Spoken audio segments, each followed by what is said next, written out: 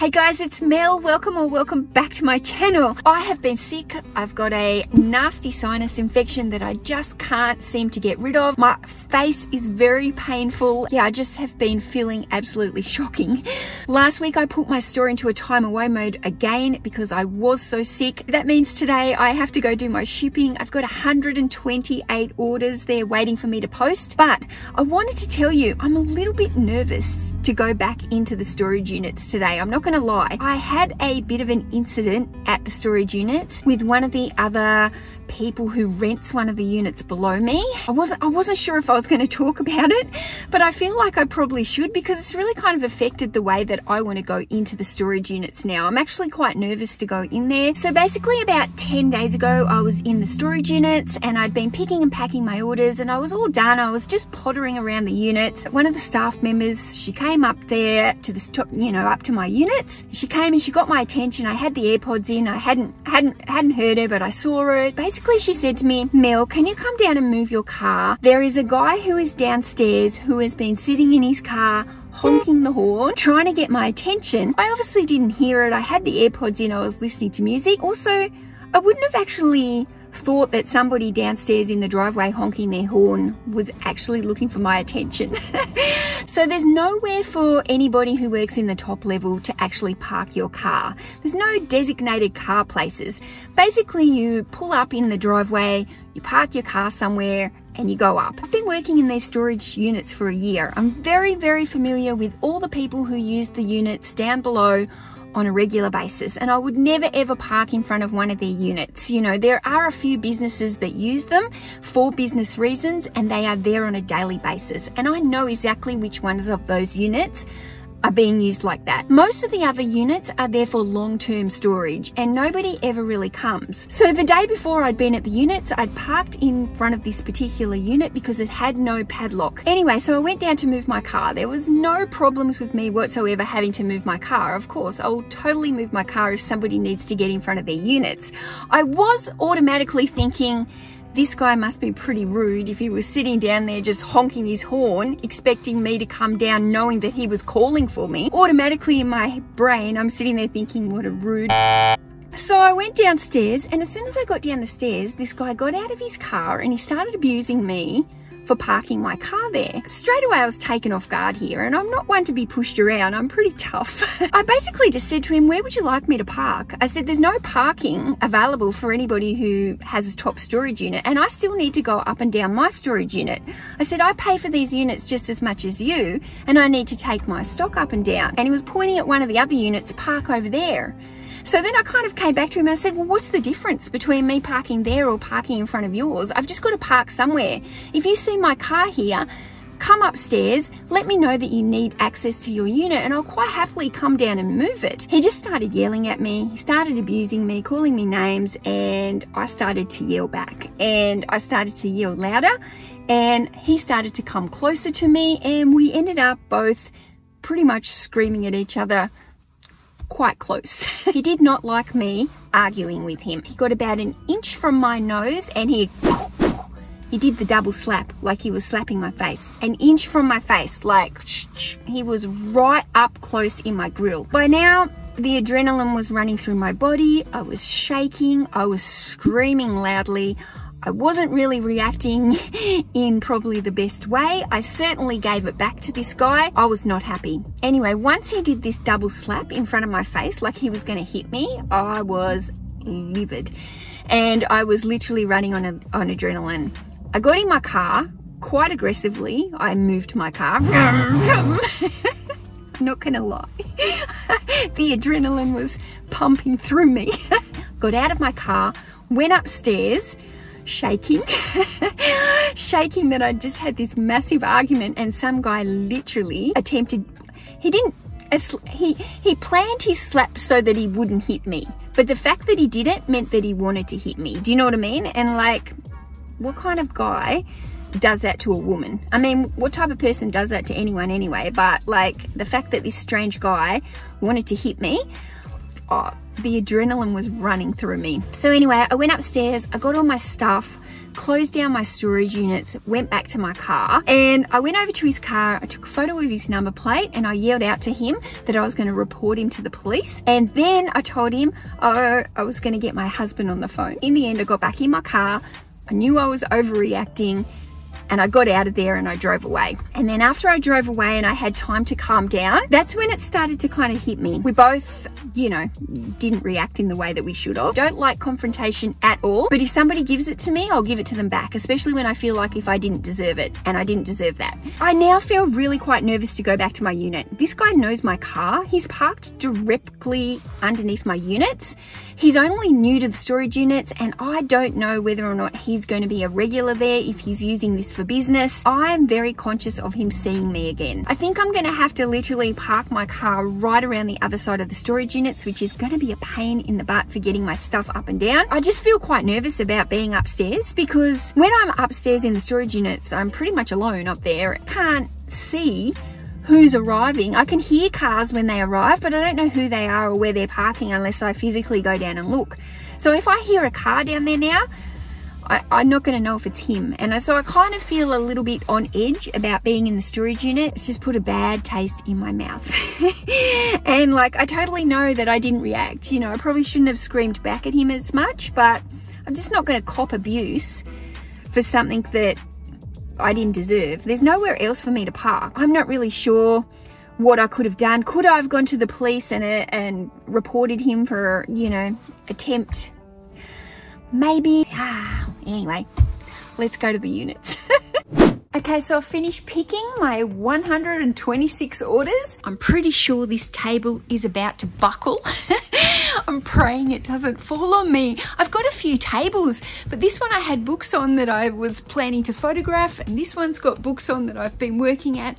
So I didn't have anyone. This table here is absolutely chockers as well.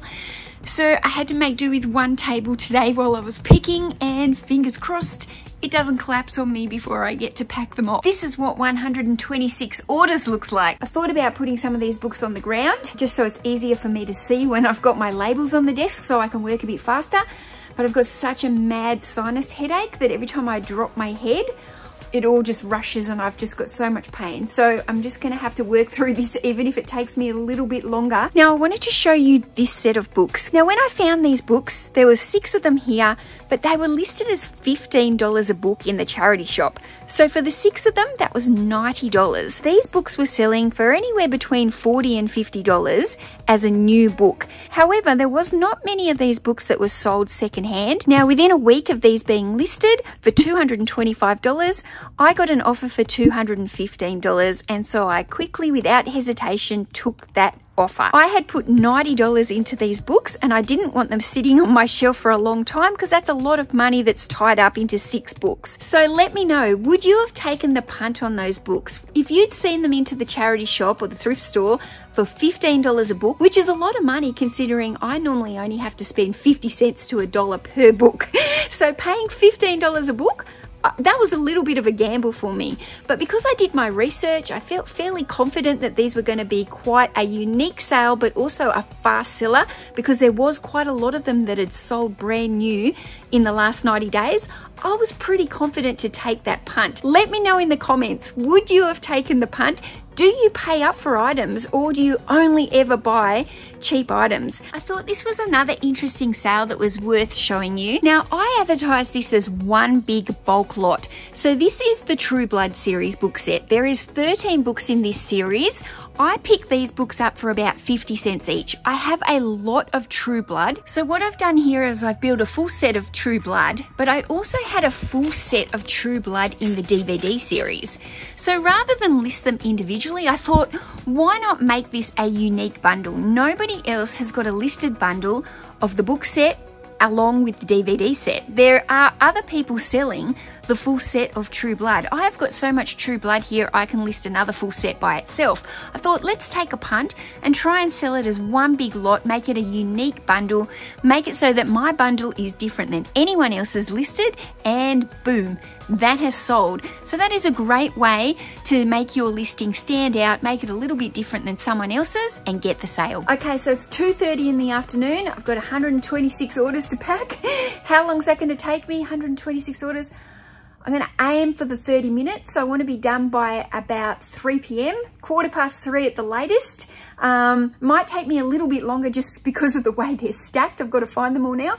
126 orders. Let's see how quick I can do it. So I've been packing for half an hour. I've managed to fill six IKEA bags right up here with shipping, but these are all the ones that I've still got left. So I've probably got another half an hour here to be honest. So let's aim for 3.30. I'll tell you where we're at at 3.30. 13 IKEA bags full of orders it is now four o'clock, so that means it took me an additional hour than I expected. I mean, who would have thought half an hour to do 126 orders? Anyway, it's taken me an hour and a half to bag all those items up. So not pick them. It, it didn't take me as long to pick them. It only took me quite a long time to pack them. There was quite a lot of bundles in there. There was a few multi-orders. So I had to do some excess packing, which always takes longer if I have to do like double wrapping or anything like that. 13 bags. I'm going to take those to the post office now. I've got something else I want to show you, so hold on. Whew, okay. I've just dropped those parcels to the post. That has really taken it out of me while I'm sick to do that many orders, you know, like I can really feel it in my chest. Like it's like because my nose is so congested, I'm having a lot of trouble breathing. But I wanted to show you guys, I have got some beautiful friend mail here from um, a couple of people that follow me. It's not very often that I've had some friend mail, so it's kind of really exciting. So I have got two here, same envelope, and these are by a lovely viewer named Joan. Now Joan has sent me these all the way from Spain and there's two here and one of them actually says on the back do not open until July the 13th, which was my birthday. So I'm presuming this one's for my birthday and this one is, I don't know, I don't know. So today is the 19th. My birthday has been and gone, but it's just so exciting to me that somebody has sent me mail from Spain. Much, Joan. You've been a massive supporter of my channel. You're always leaving me comments and supporting me and I just can't tell you how much I appreciate it. Oh my gosh, beautiful. Oh my gosh, look guys. Joan has made this most beautiful card. It is like three-dimensional. It is like books. Oh my gosh. Joan, this is absolutely stunning. Happy birthday, Mel. It's your birthday, so grab a chair and a coffee and read a book. Hee hee. Best wishes from sunny Spain, Joan. I've made this for you. Joan, this is absolutely the most beautiful card I think I've ever got. Mel and family. Oh my gosh. Your cards are so beautiful. Dear Mel and family, good luck in your new home. Look at these. These are like 3D, the most beautiful cards, scalloped edges. Dear Mel and family, good luck and best wishes in your new for home. Love Joan, your YouTube follower. Thank you so much. Honestly, like, these mean so much to me, Joan. I'm going to put these in my new eBay shed. These are going to go up on a special part of my eBay shed. Okay, look at this big one. I don't know what this is, but this has been sent to me from the Aussie Hustler. Shout out. She's got a YouTube channel, so you can go follow her at the Aussie Hustler. So let's see what she sent me. She told me that she saw this and she thought straight away of me. Let me read the card first. Okay. the card looks like it's sealed. I don't know if this, I don't know if she's actually written in this or if it's, um, if they've sent it from the shop. it's blank. but it's happy birthday, so this is a happy birthday present. I love this. Thank you. Let me have a look. Oh, look what she sent me. Get shit done. That is my all-time motto. Absolutely love this. This is so going in my new shed. Oh my goodness. It is a magnetic weekly planner. Get shit done. I absolutely love this. I would have bought this myself if I've seen it. Thank you so much for sending this to me for my birthday. I can't even tell you how much I appreciate it. I love all you guys here on YouTube. Like, honestly, it just blows my mind that I have people that I've never even met who want to send me gifts. Like, honestly, I just feel so lucky, so grateful. And, you know, I really appreciate that, you know, I just, I just, it blows me away. Thank you so much for all the love, guys. And stay tuned i've got another shed video coming soon i'm sorry i haven't been like 100% will to be making like some really high energy vlogs I hope to be doing that again soon. If you want to see one of my other videos where I am full of a little bit more energy and not a clogged up nose, I'm going to link it right here for you now. If you haven't seen it, go and check it out. Thanks so much, guys. Check you in the next one. Bye.